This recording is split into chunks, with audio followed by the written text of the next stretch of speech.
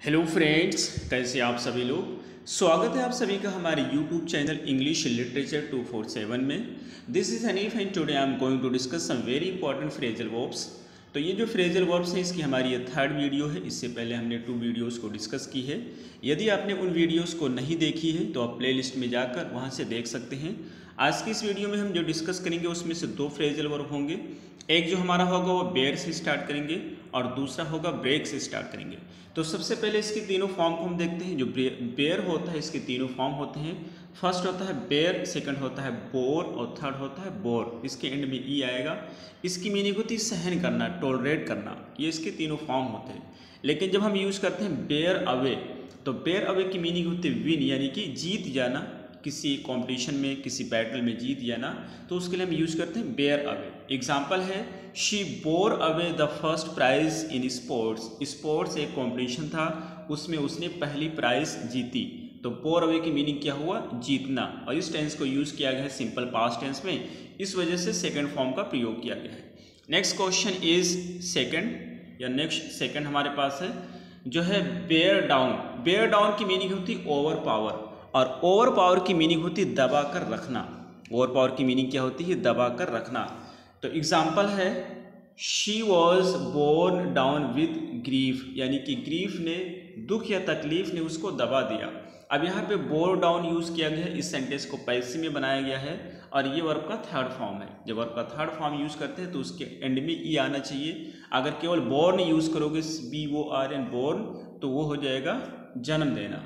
तो सेंटेंस बनेगा she was borne down with grief यानी ग्रीफ या दुख या तकलीफ़ ने उसको दबा दिया। Next is third bear out bear out की मीनिंग होती है कन्फर्म करना। कन्फर्म करना मीन्स क्या होता है? आपको पता है कि कन्फर्म करना का मतलब ही होता है पक्का करना या निश्चित करना। एग्ज़ाम्पल है the result will bear out his outstanding skills उसकी जो आउटस्टैंडिंग स्किल्स है, यानी कि उसकी स्किल बहुत ज़्यादा है, और इसको कौन सी चीज़ कंफर्म करेगी, कौन सी चीज़ पक्का करेगी तो उसका रिज़ल्ट जो है, जो रिज़ल्ट है, उसकी आउटस्टैंडिंग स्किल को पक्का कर देगा कंफर्म कर देगा। नेक्स्ट इज़ फोर्थ और फोर्थ में है बेयरअप बेयरअप की मीनिंग क्या होती है? तो बेयरअप की मीनिंग होती है remain cheerful during a difficult time यानी कि मुश्किल समय में भी खुश रहना, जिसको हम बोलते हैं हौसला रखना। ठीक है? तो बेयर अप की मीनिंग होती है हौसला रखना और इसमें सेंटेंस आपके पास है you have to bear up much for the sake of love प्यार के लिए तुम्हें बहुत ज़्यादा हौसला रखना है। You have to bear up तुम्हें हौसला रखना है।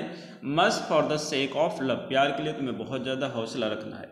नेक्स्ट इज़ फाइव और फाइव है बेयर विद बेयर विद की मीनिंग होती है टू बी पेशेंट पेशेंट यानी कि धैर्य रखना। ठीक है? संतुलन बनाए रखना। और इसका एग्ज़ाम्पल हो जाएगा you will have to bear with her rude behaviour यानी तुम्हें जो है उसके रूड बिहेवियर से पेशेंस रहना है धैर्य रखना है उसके रूड बिहेवियर के साथ में तो इस तरह से सेंटेंस बनेगा। तुम्हें उसके रूड बिहेवियर के साथ में धैर्य रखना होगा या पेशेंस रहना होगा। ठीक है सो नेक्स्ट हो जाएगा आपका सिक्स नंबर का। और सिक्स नंबर का है बेयर अपॉन बेयर अपॉन की मीनिंग होती है रिलेवेंट रिलेवेंट की मीनिंग क्या होती? है उपयुक्त होना, उपयोगी होना, काम का होना। इरिलेवेंट माने होता है, असंगत या अनुपयुक्त हो जाता है। तो इसका एग्ज़ाम्पल है this testimony did not bear upon the inquiry ये जो टेस्टिमोनी है, ये इंक्वायरी के लिए उपयुक्त नहीं होगी। डिड नॉट बेयर अपॉन यानी कि उपयुक्त नहीं थी। अब इसके बाद स्टार्ट करेंगे फोर्थ है, जो कि ब्रेक है। तो ब्रेक माने क्या होता है? तोड़ना होता है। ब्रेक मीन्स क्या होता है? तोड़ना होता है आप सभी को पता है। ब्रेक इसका फ़र्स्ट फॉर्म है सेकेंड फॉर्म ब्रोक होता है थर्ड फॉर्म ब्रोकन होता है। ठीक है? तो ये इसकी तीनों फॉर्म होते हैं ब्रेक ब्रोक ब्रोक ब्रोकन तीनों फॉर्म का जानना इसलिए ज़रूरी होता है कि जो फ्रेजल वर्ब होते हैं वो भी एक, एक प्रकार के वर्ब होते हैं। उसको किसी भी टेंस में यूज़ किया जा सकता है मीनिंग के अनुसार। तो सबसे पहला देखते हैं ब्रेक डाउन ब्रेक डाउन बहुत ही इंपॉर्टेंट है कई बार एग्ज़ाम में पूछा गया है। ब्रेक डाउन की मीनिंग होती है stop walking because of a fault किसी कमी के कारण काम करना बंद कर देना यानी कि ब्रेक डाउन की मीनिंग सिंपली होती है ख़राब हो जाना। ठीक है ब्रेक डाउन मीनिंग क्या होती है? ख़राब हो जाना। जैसे my car broke down on the way मेरी जो कार थी, वो रास्ते में ख़राब हो गई। तो कहीं भी अगर ख़राब होने का सेंस यूज़ करना है तो आप यूज़ कर सकते हैं ब्रेक डाउन अब उसके तीनों फॉर्म के हिसाब से यूज़ करेंगे, जैसा सेंटेंस में यूज़ करना चाहते हैं। नेक्स्ट इज़ ब्रेक इन तो ब्रेक इन या ब्रेक इनटू जो होता है ये भी बहुत इंपॉर्टेंट है। दोनों काफ़ी एग्ज़ाम में पूछे गए हैं। तो ब्रेक इन या इनटू की मीनिंग होती है इंटर इलीगली यानी कि घुसपैठी करना। ठीक है? या जो है सेंध लगाना या इलीगल तरीके से घर में घुस जाना तो उसको बोलते हैं ब्रेक इन या इनटू जैसे burglar broke into his house last night last night क्या था? बर्गलर क्या क्या उसके घर में सेंध लगा दिया या इलीगल तरीके से घुस गया। अगला है ब्रेक इनटू टीयर्स ये टीयर से आपको पता चल जाएगा टीयर्स मीन्स आँसू होता है। तो अगर हम खाली ब्रेक इनटू की बात करेंगे तो इसकी मीनिंग होती स्टार्ट समथिंग एट वंस कोई चीज़ तुरंत शुरू कर देना। लेकिन अगर इसमें टीयर्स लगा देंगे तो अचानक से रोने लगना। तो ब्रेक इनटू टीयर्स की मीनिंग होती है तुरंत रोने लगना। जैसे सेंटेंस है she broke into tears when she heard the news जैसे ही उसने न्यूज़ सुनी, उसने रोना शुरू कर दिया। और ऐसे नहीं रोना शुरू किया फूट फूट कर रोने लगी। ठीक है? तो ब्रेक इनटू टीयर्स की मीनिंग होती है फूट फूट कर रोना। उसका सेकेंड फॉर्म ब्रोक हो गया, वह फूट फूट कर रोने लगी जब उसने न्यूज़ सुना। नेक्स्ट है ब्रेक ऑफ़ ब्रेक ऑफ़ की मीनिंग होती है स्टॉप हैबिट कोई आदत होती है, उस आदत को छोड़ देने के लिए हम यूज़ करते हैं ब्रेक ऑफ़ तो इसमें he is trying to break himself off drinking drinking की जो उसकी आदत लगी है, उसको छोड़ने की क्या कर रहा है, वो कोशिश कर रहा है तो उसके लिए हम यूज़ करेंगे he is drawing he is trying to break himself off drinking आप ऐसा भी कह सकते हैं he is trying to break himself off smoking या किसी भी बैड चीज़ को छुड़ाने के लिए उसको छोड़ने की कोशिश करना है तो आप यूज़ कर सकते हैं ब्रेक ऑफ़ नेक्स्ट आपका हो जाएगा फाइव नंबर का, और फाइव नंबर का है ब्रेक ऑफ़ यहाँ पे डबल ऑफ़ है, ऊपर सिंगल ऑफ़ था. डबल ऑफ़ जब हो जाएगा तो इसकी मीनिंग होती है स्टॉप कर देना या डिसकंटिन्यू कर देना, कोई चीज़ को रोक देना.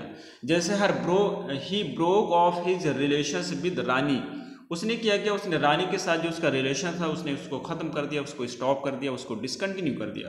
तो हम यूजिंग ब्रोक ऑफ़ और ब्रेक आउट की मीनिंग होती बचना। ब्रेक आउट की दो मीनिंग होती, एक तो मीनिंग यहाँ पे बचना होती है, और ब्रेक आउट की दूसरी मीनिंग होती फैलना या अचानक से कोई चीज़ शुरू हो जाना। जैसे जब बचने के सेंस में यूज़ करेंगे तो उसका एग्ज़ाम्पल हो जाएगा द कन्विक्ट कन्विक्ट की मीनिंग होती है दोषी। The convict broke out of the police custody जो दोषी था वो बच गया या बच निकला पुलिस की कस्टडी से। लेकिन जब सेकंड यूज़ करेंगे ब्रेक आउट जिसकी मीनिंग स्प्रेड होता है या अचानक से शुरू होना होता है तो world war second broke out in 1939 ये जो वर्ल्ड वॉर सेकेंड थी, ये शुरू हुई थी। कब शुरू हुई थी? 1939 में। तो यहाँ पर मीनिंग होता है शुरू होना। लेकिन अगला सेंटेंस है अब fire broke out in our colony yesterday हमारी कॉलोनी में आग लग गई। या आग फैल गई थी कल। ठीक है? तो इस तरह से यूज़ करते हैं ब्रेकआउट की। दो मीनिंग होती है। एक तो मीनिंग होती है इसकी फैलना और दूसरी मीनिंग इसकी होती है बच निकलना।